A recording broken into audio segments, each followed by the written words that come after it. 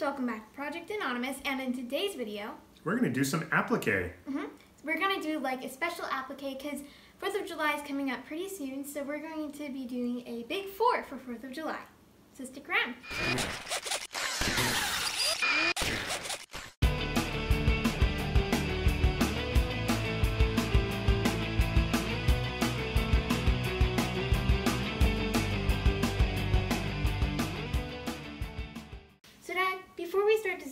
What is applique? Applique is the process of putting a material or fabric on top of something else, like a shirt, that will, instead of using a fill stitch to fill in a certain color, you use that material on top. And all you do is stitch around the outside of it, covering the seam. Mm. Does this also save thread? It saves a lot of thread, especially if you have a big number like we're going to use in our design. Mm -hmm. uh, it's going to save on that thread for the fill stitch area. So let's get to it. So we've opened up Inkscape. Yep, and right now all we're going to do, we're going to start with our applique. I think that should be our first layer, just to kind of pin down our fabric on top of our shirt. We're just going to do one big four. And we're using a 5x7 hoop. Yes, we did set this up with our 5x7 template, uh, just so we can get the biggest four we can. And we'll play with the font later, but let's make this a lot bigger. What do you think?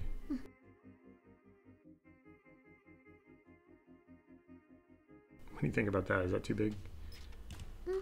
Make it bold? Okay, so let's pick a font. You want a nice, big, thick font. What do you think? Is that pretty good? Mm -hmm. Okay. And this is actually going to be blue, right? Mm -hmm. Actually, we're not even going to account for that because all we need to do is do the stroke of this for for now right? Mm-hmm. Okay, so the first thing we're going to do is we are going to select this and we're going to make it a path because we don't need to edit that anymore. So we're in object to path.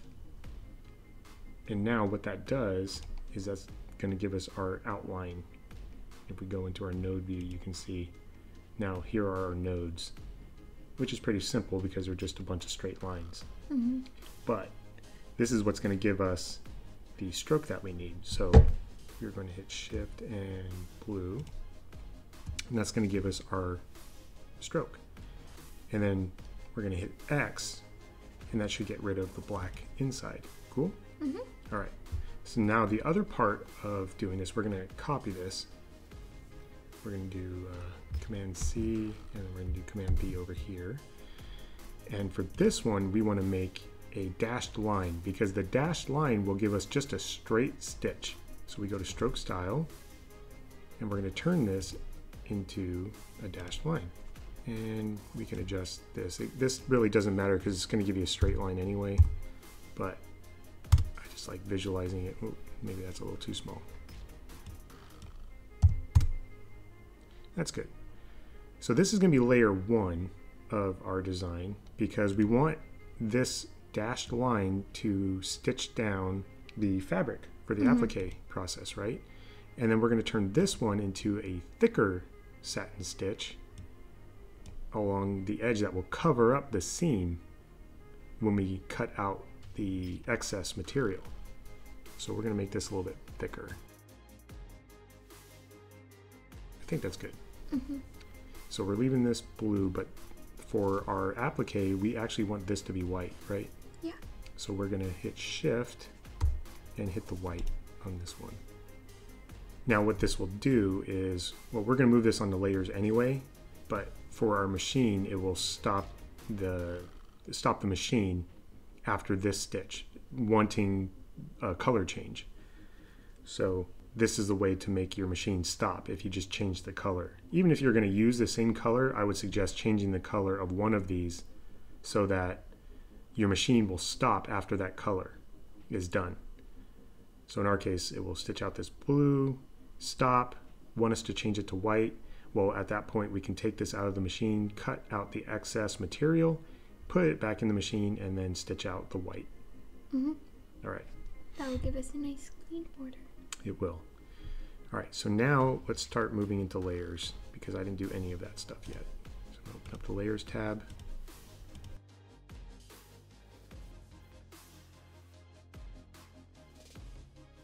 And then finally, what I'm going to do, just a little trick, is I'm going to turn the opacity down on this, which almost makes it disappear. But what I want to do is I'm to be able to see through it when I put it on top of this, because I want it to be exactly in the middle to cover up the seam.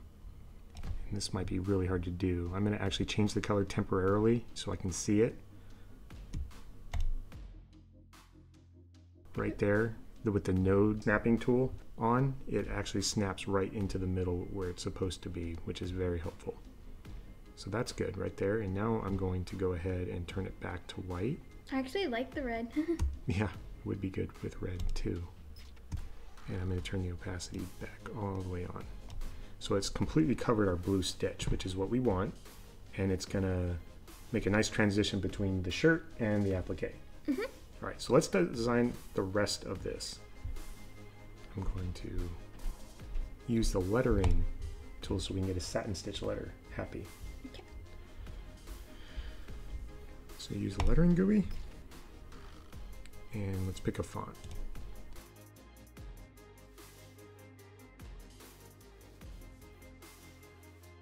That's really pretty. Mm -hmm. What do you think? I like it. We'll go with that one?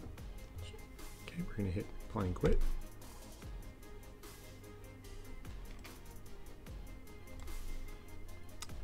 Now we're going to select it and we're going to our design, we're going to go ahead and turn it onto the side here, kind of the same angle as that four.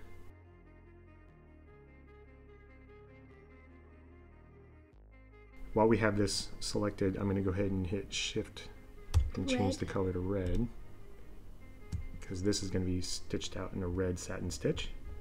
Yeah. And then I'm going to go ahead and highlight everything so I can move that back onto the, or I guess we could shrink it a little bit. What do you think? I'm to shrink it. Yeah, so the four pops out. okay, we'll just shrink that a little bit.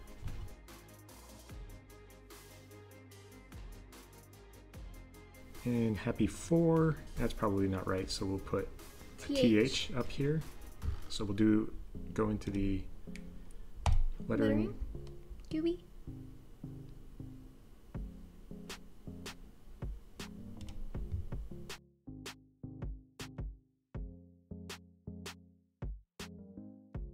That looks pretty cool. Yeah. Kind of like it. I do too. All right. And there it is. Select that move it over here. I like that spot. Yeah, and then this is going to be white as well. Yes. So I'll hit shift and white. And you really can't see it anymore, but that's okay. What I'm going to do now is I'm going to create a new layer just to kind of put the text on. So new layer, and I'm going to select this shift and that, right click, move to layer. All right, let's see how this looks.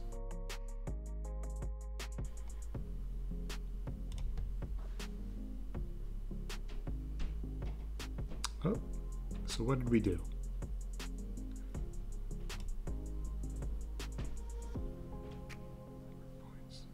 Okay, so let's see which thing is the issue here.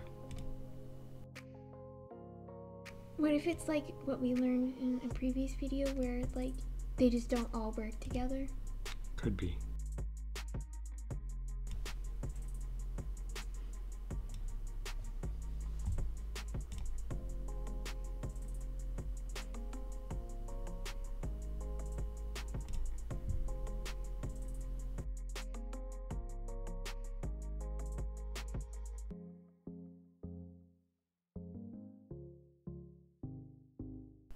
Okay, now I realize you can barely see it here because of the white background, unfortunately, but um, I think what I'm going to do is I'm going to take advantage of the the restacking objects objects so that I don't have one less color change because any anytime you can make the process a little bit faster I like it. So I'm gonna move this TH to stitch out before the happy. And I'm gonna do that by selecting in order how I want it to stitch out. Mm -hmm. Does that work? Yeah. All right.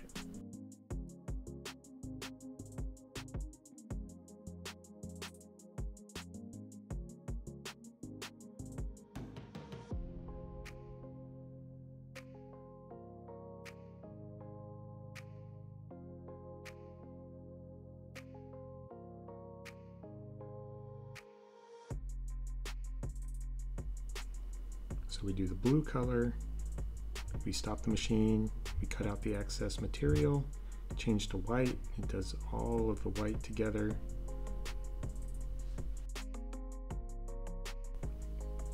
Alright, so now that we have everything good and ready to stitch out, let's go ahead and save this as a zip file.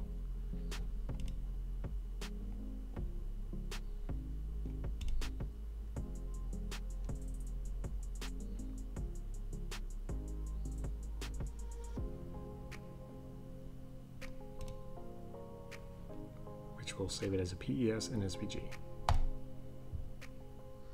We have everything we need. So we're gonna be using the 5x7 hoop, a just a plain shirt, some basting adhesive, and then a cutter. Yeah, a cutter, and then some stabilizer. Yep, and this is just some featherweight stabilizer. Don't need much. This is just a cotton tee.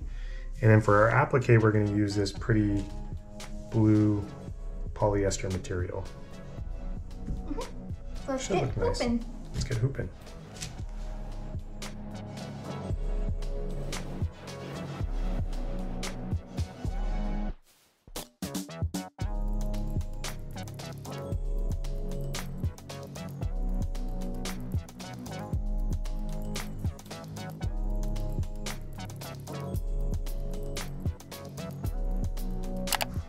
Careful not to stretch this material out, otherwise we'll cause little wrinkles.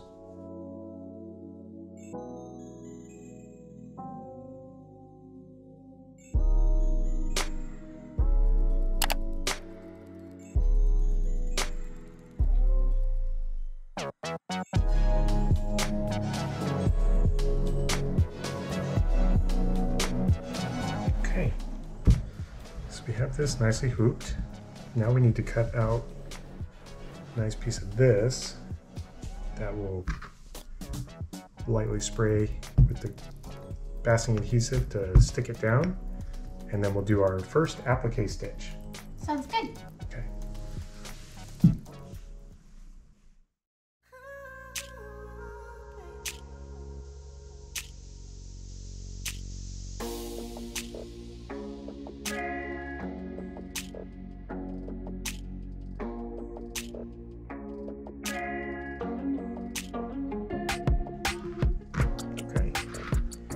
It's time to put in the machine.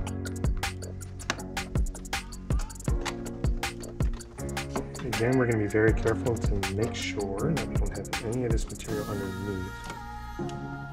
We don't want to stitch the bottom to the um, top. Exactly.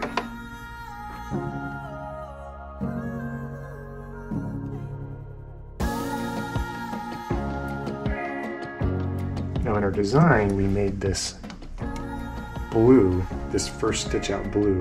But remember, we don't really care what this color is, we're not going to see it. And the machine will stop it after this first stitch, so it won't just continue on with the rest of the white. Mm -hmm. So let's load up our design.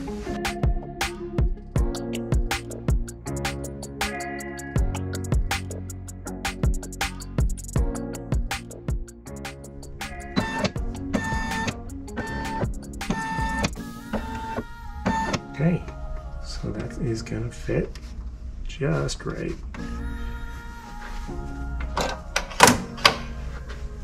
Okay. Alright, so now it's to sew out the blue part, which is, again, it's white, but it's just to be the straight stitch to lock down our applique material.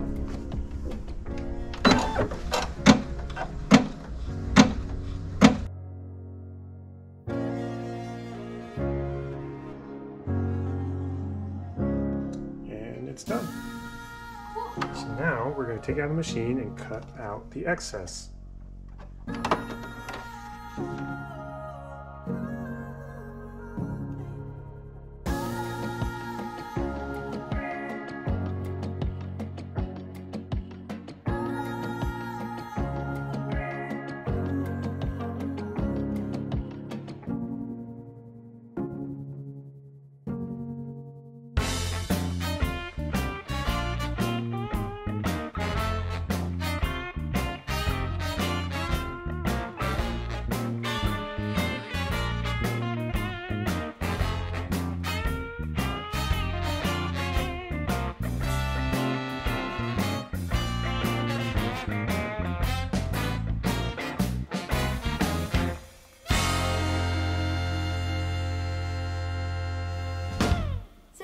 Shirt was very fun to make, and we'll definitely have some colors for 4th of July and have our spirit on.